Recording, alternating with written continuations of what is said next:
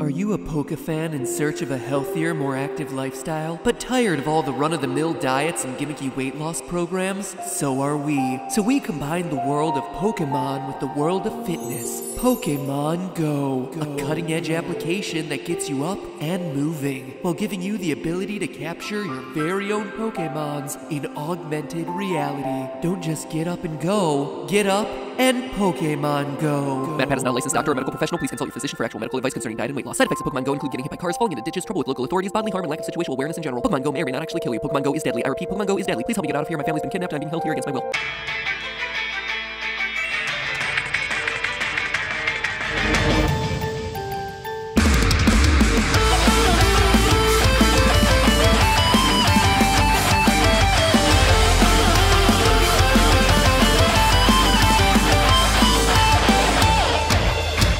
Internet! Welcome to Game Theory, where if you are one of the thousands of people who still want a Game Theory hoodie, even though they sold out in the first 24 hours, well, then stay tuned to the end of today's episode because you can still get one, but you're gonna have to act this week and this week only. In the meantime, though, today it's my goal to throw Pokepuns at you, so don't get too comfy, cringe police. I'm pulling out all the Poke stops. Okay, so I've legitimately probably had my fill of Pokepuns for now. Now, it's been over a year since I last talked about Pokemon Go, and for an app that probably most of you assume is long dead, I think you'd be surprised by some of these stats I came up with. For one, it's raked in $1.2 billion since its launch. That's almost $2 million a day, and 1.4 times more than Sun and Moon sales combined. And here we're all left wondering why everyone doesn't want to do full on game releases anymore. That is why, ladies and gentlemen, it's been downloaded 752 million times, of which 65 million still play at least once a month, and 5 million still play every day, which has resulted in an astonishing 88 billion captured Pokemon, most of whom were then promptly ground up to be fed to the strongest of their species in a desperate attempt to evolve the darn thing. Long story short, while it may not be as cool as finding Dewey or discovering who touched your spaghetti, Pokemon Go is still alive and well. The same, however, can't be said about its players. You see, for the many titles Pokemon Go has earned itself over the last year and a half, one of the ones you won't see it talking about is deadliest video game of all time. That may sound extreme, but it's no joke. Whereas other video games kill a player here or there from things like blood clots forming after extended play sessions with no movement, Pokemon Go actively puts its players right out into the line of fire by making them do the unthinkable go outside. It's a game that gets you walking around in public staring at your phone, which, as you can imagine, puts players into some dangerous scenarios. Muggings at night, trespassing during the day, falling into ditches, driving distracted, and of course, walking into traffic without looking. In fact, there have been so many of these types of stories that there are whole websites dedicated to tracking the number of accidents the game has caused. But to be fair, every dark Altaria has a silver lining, my friends. Pokemon Go is a game that gets its users to walk around outside, and that extra exercise comes with a bunch of health benefits, which means regular players experience longer and healthier lives. So the question that I want to solve today has Pokemon Go, the unofficial deadliest game in all of history, actually killed more people or saved more people? Now, as I mentioned a second ago, there are actual websites whose sole function is to monitor deaths and injuries related to Pokemon Go, all with sources provided no less. Which, man, if only all the research I did for this show was that easy. Also, let me just say it right off the Noibat, I'm using the US data here because it'll be simpler for calculations that we have coming up. So, right away, we know that Pokemon Go has been associated with no less than eight deaths here in the US. But wait, on the same site, we find that in St. Louis, Pokemon Go players were responsible for saving two people caught in a warehouse fire. So already we see the eternal struggle of life and death that is Pokemon Go. That leaves our net death counter at six. From here, though, it starts to get a bit tricky. Despite the game's repeated warnings and its lack of functionality when traveling above certain speeds, far and away, the number one cause of injury from Pokemon Go is distracted driving. Look, Ma, I'm gonna catch me a Lapras!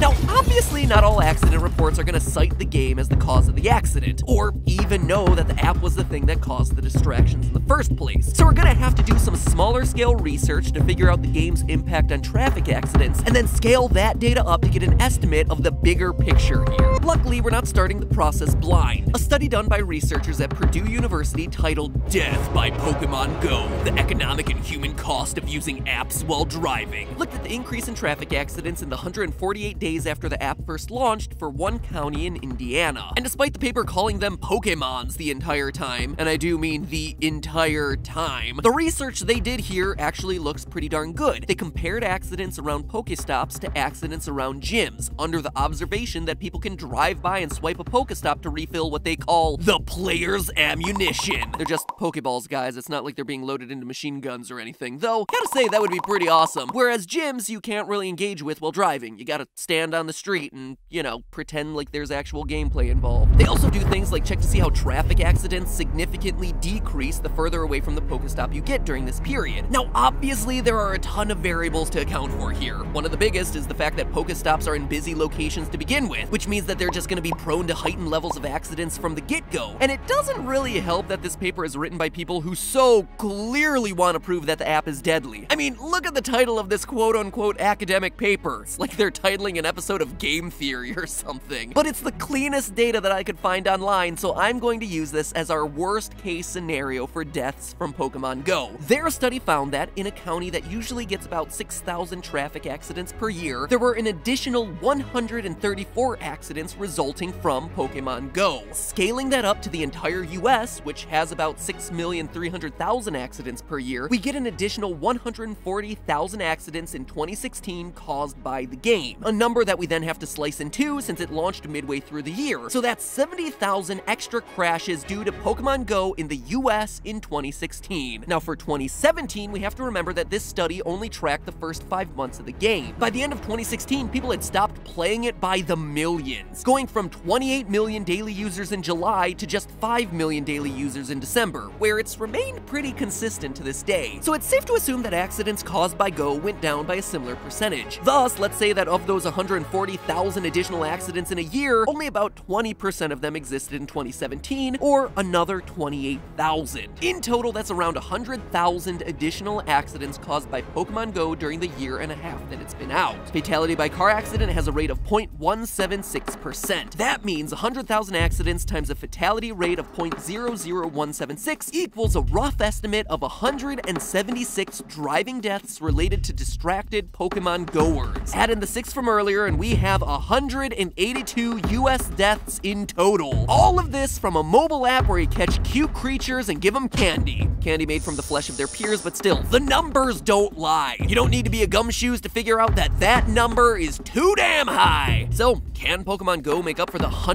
182 fatalities that it's helped cause? It actually might. According to the US Department of Health and the National Institute of Diabetes and Kidney Disease, inactivity kills 5.3 million people worldwide every year from diabetes, heart disease, depression, and certain cancers. But unlike mostly every other video game other than Just Dance and, I don't know, the two weeks 1-2 Switch was having us bang our chests like horny gorillas, Pokemon Go encourages players to get up and move. According to Microsoft research, in the one month after launch, between July and August of 2016, US players of Pokemon Go walked an additional 144 billion steps on account of this one game. Considering it takes about 500 million steps to walk to the moon, that's enough to walk to the moon and back 144 times. In the most extreme cases, players were walking 4,000 more steps every single day while they played. On average, though, the increase was a much more modest 1,473 extra steps. So, that begs the question how do we turn extra steps into human lives saved? Let me explain. What we know as a calorie is simply a measurement of energy. When calories aren't used, they're stored in our body as glycogen, or fat to use later. If you don't burn off the excess, your body hangs on to it. Consuming more food leads to more calories that don't get burned, and that's basically how fat is gained. The more you have, the higher your chances for health problems and increased odds of death. On average, 20 steps equals 1 calorie, meaning that if you walk 10,000 steps in a day, you're gonna be burning about 500 calories. Now, according to a study conducted by Dwyer, Pesic, Son and Company, a person who walks 10,000 steps every single day can increase their average lifespan by about 41 days. Considering that the average lifespan is 79 years, that's just a lot of walking for an extra month of life. But whatever, it gives us the conversion of steps to human life that we need. All we need to do is calculate the total number of steps walked by Pokemon Go players for the past year and a half, which in turn will enable us to calculate the number of years that it's added to players' lives, and thus the overall total number of lives saved. That first month had about 144 billion steps, right? But as I stated earlier, Pokemon Go lost about 80% of its daily active users since then, dropping from 28 million to 5 million, meaning that the number of steps has decreased drastically as well. So, based on this graph, we can estimate that there were about 10 million active daily users in August and September of 2016, and ever since the number has hovered around 5 million users, give or take. Knowing that on average, a daily user of Pokemon Go walks an additional 1,473 steps per day, we can calculate that in August and September, 61 days, the 10 million users walked 898 billion 530 million extra steps. And in the 15 months after that, with only 5 million daily active users, that's 457 days times 5 million users times 1,473 steps, or 3 trillion 365 billion 805 million steps. In total, we're talking about 4 trillion 408 billion 335 million additional steps taken since the launch of the game. And yes, that number is admittedly high, but we're trying to give both sides the benefit of the doubt here. And as you're about to see, it doesn't really matter. We've almost reached our final answer. 79 years of 10,000 steps a day gets you 41 extra days of life, right? Well, that would mean that 79 years times 365 days times 10,000 steps, 288,350,000 steps equals 41 days of life, or about 7 million steps for one extra day spent on this planet. Now, we just found that Pokemon Go players walked 4 trillion extra steps, so dividing by that 7 million steps it takes to earn ourselves an extra day of existence, we get 629,762 extra days of human life just from playing Pokemon Go. But that leads us to the question that we've been asking since the beginning. How many actual human lives does that translate to? Ladies and gentlemen, here's our grand total. 629,762 days divided by 365 gives us 1,725 years of life. Divide that number by the 79 year average lifespan that a human gets, and we derive, drumroll please, drum roll, I said please. Please give me something to build up the hype. Okay, 20, 22. 20, 22 human lives saved. It's uh, actually 160 lives short of that 182 that we calculated that the game had uh, killed. So, yeah, like those Purdue researchers concluded, the peril of Pokemon Go is definitely real. Now, in all seriousness, obviously this was all for fun. Pokemon Go has clearly done a lot of good for its users. Not only on the health side, but it's also encouraged community. The week that Pokemon Go first came out was like the most positive, uplifting week of communal gaming I've been a part of in years. And if I'm honestly pointing the finger of blame at anything here, it's actually just using cell phones while driving in general, with 25% of all driving related accidents being tied to using phones while on the road. Fun fact, by the way, fatal car crashes were actually on the decline, reaching their lowest point in five decades in 2011. But by 2015, 16, and 17, the number has been back up on the rise, with many researchers attributing it to the glut of new apps on phones. But heck, who knows? Driverless cars are coming, which means a whole new way to grab another hundred freaking Rattatas from the driver's seat. But hey, that's just a theory. A game theory. Thanks for ordering hoodies, actually. Seriously, a quick note here. Many of you reached out to me personally and the merch company, disappointed that you guys weren't able to grab a Game Theory hoodie before they all sold out. And I totally understand, those things were gone in less than 24 hours. None of us, none of us could believe it. We were so thrilled to see you guys so excited about them. So we went back and figured out a solution. If you still want a hoodie, and honestly, I don't blame you, not only does it look cool, but I wear this thing non-stop. It is so soft. We're actually making them available for order again. The link is in the top line of the description or via the end card link here here in a second. The only thing I gotta warn you about, though, is that it's gonna take a little bit of time. It's gonna take around three months to get here. And I know, I know, it's a long time. I hate how long it has to be, but that's because we're working with high quality manufacturers. These things aren't just like a bunch of t shirts that you can just print off overnight. Everything is highly customized, it's all embroidered, it's built to last. That's also why everything we do has a limited run. It takes a long time for us to make these. So if you want a guaranteed hoodie, we're making just as many as you guys pre-order, and this absolutely